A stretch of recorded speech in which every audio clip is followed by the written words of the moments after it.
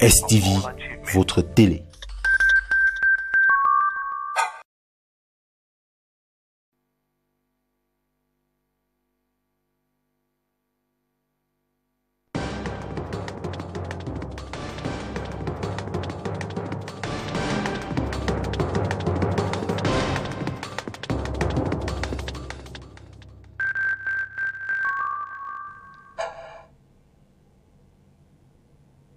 One p.m. on STV televiewers, good afternoon.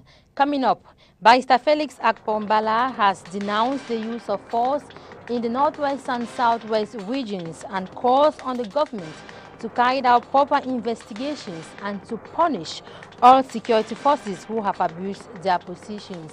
In Douala, the circulation on the second bridge over the Wouri has been opened since 7.30 a.m.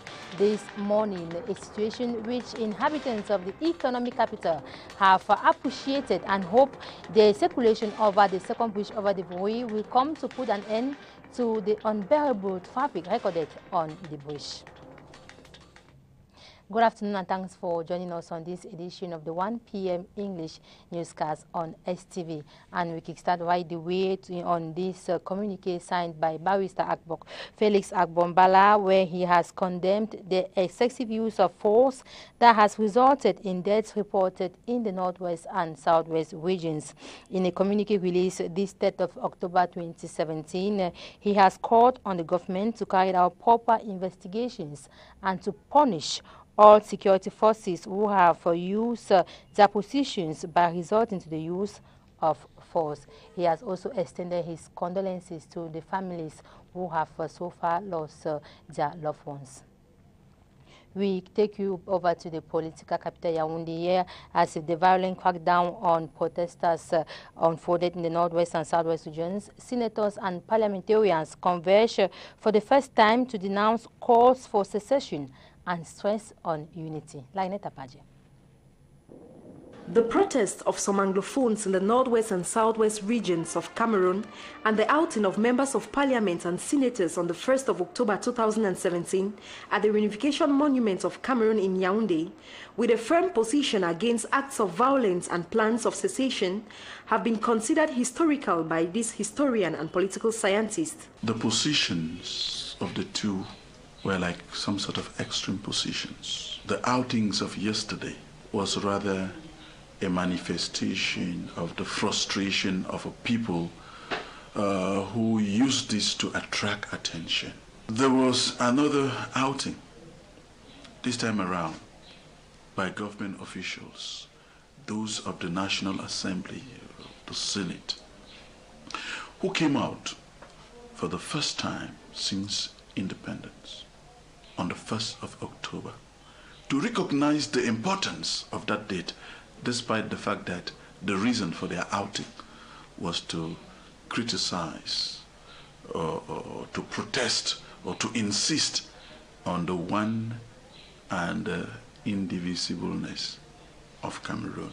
The end of the Anglophone crisis, which has been ongoing since November 2016, is yet to see the end, but Professor Willibroad Dze-Ngwa believes the perspective for Cameroon after demonstrations of 1st October is a genuine dialogue. In crisis situations like these, we should be able to accept recognize and protect others. Current crisis in Cameroon is human creation. That the Anglophone problem in Cameroon today has been created by human beings. Simply put, the non-respect of the plebiscite accord, the manner in which these people are being treated. And since it is a human creation, there is no problem created by human beings that human beings cannot resolve if human beings actually want to resolve the crisis. Meantime, Human and material losses have been recorded on the streets of the northwest and southwest regions during the 1st October manifestations.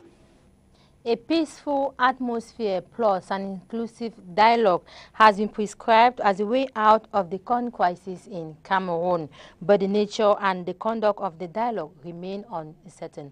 Lionel Apache caught up with a political scientist, uh, Professor Elvis Ngolle Ngolle, and now reports.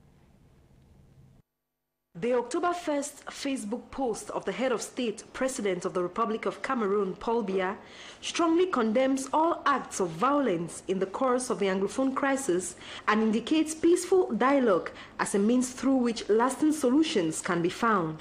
In the view of some political scientists, the dialogue has to take a political structure. By definition, you look at any dictionary, a dialogue simply means an exchange of views or a conversation between two or more persons in order to enrich common understanding or find solutions to certain problems or a problem. That's simply what it means. But when that dialogue becomes structured and political, it means it is deliberate, it has an objective which is fixed, it has a, a framework, and it has, uh, it, it has an agenda it has also been indicated that an inclusive dialogue with a political structure can only take place under serene conditions. By inclusive, it means it's a structural political dialogue initiated by the state, which takes into consideration and ensures the participation of all the stakeholders of the nation, Francophones, Anglophones, government officials, political parties, civil society advocates, church leaders. It must include syndicates, even Bayam Selams. But that is not enough. For that sort of dialogue, which is inclusive uh, to work, it must be under the conditions of serenity.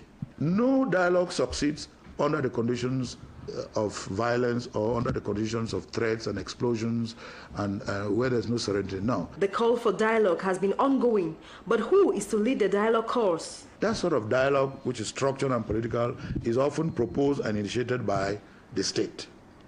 And the state meaning through the initiative of a head of state, who proposes the agenda, who proposes the number of participants, who proposes the, the, the, duration, meaning the time limits, who proposes the number of participants and agenda, and proposes the objectives, meaning what is to be discussed. However, La Francophonie has also published a press release calling for peaceful resolution of the Anglophone crisis. CPDM militants in the Littoral region have rejected secession and call for an end to violence and the promotion of for unity and national integration. This was during rally in Douala on Sunday. Henry has the details. I am not an Anglophone, nor a Francophone. Anglophone and Francophone for a united Cameroon and many other messages CPD militants of the Littoral region carried Sunday, October 1 at the party house in Bonanjo, denouncing secession from the English-speaking region of the country. A grand rally heavily attended by CPDM big wings from the littoral region, speaker after speaker then mounted a rostrum from Minister Lejeune Mbella Mbella of External Relations to Narcisse Mouelle Kombi of Arts and Culture, Jean-Ernest Ngalle Bibehe of Secondary Education, and Laurent Esso of Justice, head of the CPDM Central Committee Permanent Regional Delegation for the Littoral all chanted the same song of peace and an indivisible Cameroon despite the gravity of the situation on the ground. They further urged residents in the Littoral to be promoters of peace and dialogue to enhance national integration, stability, and unity of our fatherland, while the head of state and his collaborators continue to seek a lasting solution to resolve the plight of Cameroonians in the two English speaking regions of the country. Let's now revisit history to talk about the 1st of October, which was marked in Cameroon by protests and celebrations in some parts of the country. The day when Southern Cameroon voted to join French Cameroon to become the Federal Republic of Cameroon was rather a day uh, hard to explain this 2017. Veronica Aji. October 1 this 2017, contrary to previous years, was marked by celebrations of all kinds. The ruling CPDM party rallied in several parts of Cameroon, notably Douala and Yaoundé, to commemorate reunification of Southern Cameroon and La République du Cameroun agreed on the 1st of October 1961. Top government officials took the center stage to say no to the division of the one and indivisible nation, Cameroon. On constate le Cameroun, sous la éclairée de président national du RDPC, a choisi la paix la stabilité et la prospérité. While the Cameroon's People Democratic Movement rejoiced over the come together, other Cameroonians in the northwest and southwest regions of the country rather had something else to celebrate. Southern Cameroon's independence or reunification, hard to tell. Young men and women ignored the presence of law enforcement officials and military men, as well as Northwest and Southwest governors' orders on crowds' movement in the streets. A walk, we are told, which rather turned violent and led to serious destructions. October 1, 1961, October 1, 2017, 56 years after, some southern Cameroonians seem not contented with the daily realities. October 1 on social media was an illustration of history to some and an opportunity for others to note the very essence of Cameroon national unity.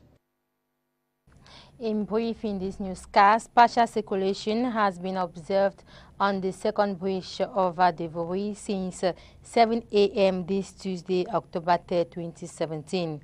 Road users have expressed satisfaction and hope the new bridge will put an end to the traffic recorded on the daily basis and facilitate circulation. In about uh, the, the, the, day of urbanization that was uh, commemorated yesterday across the world uh, at a point in time when housing Cameroon has been noticed to be a thorny issue. Henry Wana in the following report suggests the change of housing policies in the country. Cameroon's urban statistics are surely an indication of the need to address one of the thorny issues affecting the country with an annual population growth rate of 2.6% and an annual urbanization growth rate at 6.5%, Cameroon is today rated at about 54% urbanized. This state of affairs has incidentally given birth to a looming challenge. In fact, one that is fast becoming an emergency. There is serious need to provide housing to this growing and urbanizing population, almost half of which live in informal dwellings and settlements However, in Cameroon, an estimated 53% of households own their own homes, 30% tenants, and 11% are accommodated free of charge. It takes a fortune to build a house in Cameroon, let alone in the urban areas. The consequences are telling from the escalating cost of building materials leading to the construction of houses in very low qualities, even though a few lucrative ones can be identified in some high-class areas. Nevertheless, this situation leaves no one indifferent as the government of Cameroon struggles to come up with policies that can help overcome the housing deficit estimated at over 10,000 units a year. It is estimated that over 1 million homes will need to be constructed in the next 5 to 10 years if the growing urban population must adequately be housed. Douala and Yaoundé alone need not less than 300,000 new homes, where annual demand for housing in the lower and upper classes is estimated at 10%. The promotion of the use of local materials in the housing sector has not been fully embraced by private developers in Cameroon. Thus, the government is still relying on foreign partners who masters the business. Despite all of this effort made by the Cameroon government, the problem of urban housing remain a hard nut to crack, but offer a big opportunity to establish partnerships across the housing value chain to meet the country's increasing demand. Away from that, elder persons in Cameroon have called for an improvement in their health care and for peace to reign in Cameroon. This was during the celebration of the 2017 International Day of the Older Persons. John Paul Sama has more on what the elder persons have requested for. In a world where there has been massive failure to tackle the problems which come along with age, thereby undermining their contributions to social economic as well as the political life, these aged persons in Douala on the occasion of the celebration of the International Day of Older Persons have called on authorities to improve their health conditions as well as the due attention they deserve given them. Entendu le mot gériatrie ni gérontologie parce que ce sont les deux problèmes de santé pour les, pour les personnes. Some health problems which affect most old people in Cameroon cannot be treated because of lack of specialists in those domains. We wish that the various faculties of medicines in Cameroon add them to their curriculum because our health is primordial. La santé, notre santé est chère. They also used this occasion to call for peace to reign in Cameroon. Mais nous, les vieilles personnes, nous vous appelons. On n'est pas francophone, on n'est pas We, the older persons, say there is no Anglophone or Francophone. We are all Cameroonians. I am calling on all my fellow Cameroonians to uphold the values of peace and accept negotiations. Cesser ce qu'ils sont en train de faire. Il faut qu'ils acceptent une négociation. 27th edition of the International Day of Older Persons is celebrated on the theme Stepping into the Future, Tapping the Talent, Contributions and Participations of Elder Persons in Society. Sport football in view of the upcoming 2018 World Cup qualifier games against Algeria, Cameroon head coach Hugo Broos has made public a list of 23 players to take part in that game. This list sees the comeback of N'Jie Clinton to the Lions Den. John Paul Samar with the rundown of the 23 players.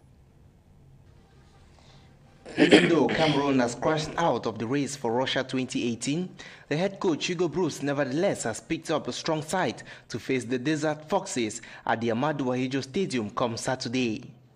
The Belgian tactician Hugo Broos has brought in Olympique of Marseille's informed striker Clinton N'Jie, who has been scoring regularly for his club side. Also making the 23-man squad is midfielder Boumal Petrus, who plays for Ural FC in the first tier of the Russian Premier League. Hugo Broos this time around has selected just one home-based player, Pangop France of Union Sportive of Douala. However, some key players like Eric Maxim Choupo-Moting, who got injured in the last game against Nigeria, has not been given a call-up by the coach because of his recurrent injury woes with the Lions. Other names like Djoum Arnaud of Hearts and Toko Ekambi did not make Hugo Broos's list. Aside those ins and outs, the coach has kept faith with household names like Fabrice Ondoa, Adolphe Teikeu, Captain Benjamin Moukandjo, Christian Bassogog, as well as Vincent Aboubakar. The Indomitable Lions play against Algeria on Saturday in a Day 5 qualifier for next year's Soccer Jamboree in Russia. Let's now listen to Coach Hugo Broos. He was speaking during a press conference in Yaoundé. He talks about the rotation of his uh, team members. I think that if you come to the national team that you have the guarantee that you can play or that you play, then you have to stay home because it's not like that. I have to take 23 players. I can't play with 23. there are only 11 on the field, so there are always 12 players who are on the bench. If you can't accept that, this is basic for a professional if he is on the bench to fight for his place in the team and not to be angry and not to come anymore. So ask himself why. And secondly, and it is on that uh, interview that we draw the curtains on this edition of the 1 p.m. English newscast on STV. Join Lila and Ganzo at exactly 7 p.m. for the news in the French language and Peter Sosi at 8 p.m. for the news in English. Good afternoon. Thanks for watching and stay in the company of programs on STV.